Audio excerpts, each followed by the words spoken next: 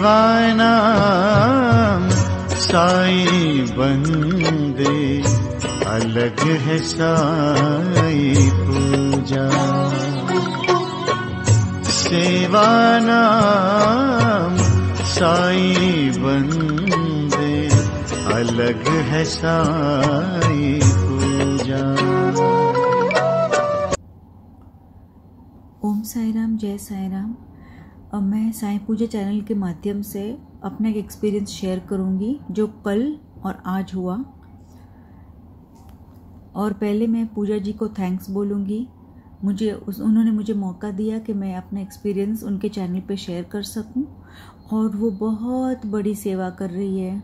लोगों को बाबा से जोड़ रही है, लोगों में आस्था जगा रही है। बाबा के बताए रास्ते पर चला रही है। और बहुत बड़ी सेवा कर रही है। I respect your lord Puja ji. अब क्या हुआ?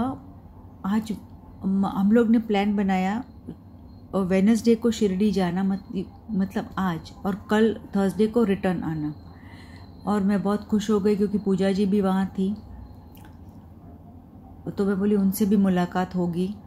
तो बहुत खुश थी। और शिरडी जाना हुआ मतलब तो बहुत ही खुशी हो रही थी। बहुत अच्छा लग रहा था। कल सुबह मेरे हस्बैंड बैडमिंटन खेल रहे थे और जो उन, जिसके साथ वो खेल रहे थे वो भी हड्डी के डॉक्टर थे ऑर्थोपेडिक थे। तो उनको पैर में थोड़े दिन से स्वेलिंग थी और अचानक क्या लगा, उसको, उस एक पैर पे प्रेशर आया और उसको लगा कि अंदर मसल फट रहा है। उसको लगा पैर के अंदर एंकल पे, नीचे, अपने पैर पे।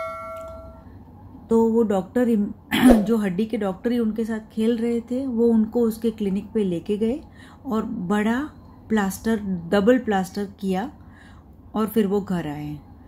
तो मैं सोची, ओके तो भी बोले, अभी तो शिरडी का प्लान कैंसिल करेंगे। और कल फिर एमआरआई एमआरआई किया और उनका उसका रिपोर्ट आज मिला।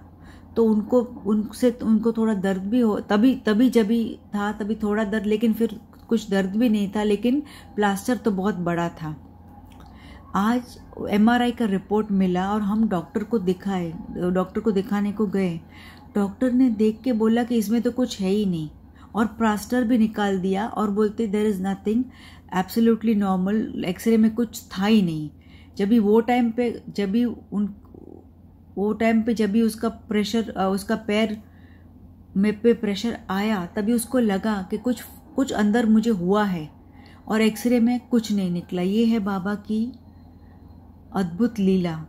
बाबा कुछ भी कर सकते हैं और आज कल इतना बड़ा प्लास्टर था, अगर आज उनको देखेंगे तो जैसे कुछ है ही नहीं। डॉक्टर ने उधर ही प्लास्टर निकाल दिया, बोलते प्लास्टर की भी कोई ज़रूरत नहीं, आप चल फिर सकते हैं और आप नॉर्मल हैं।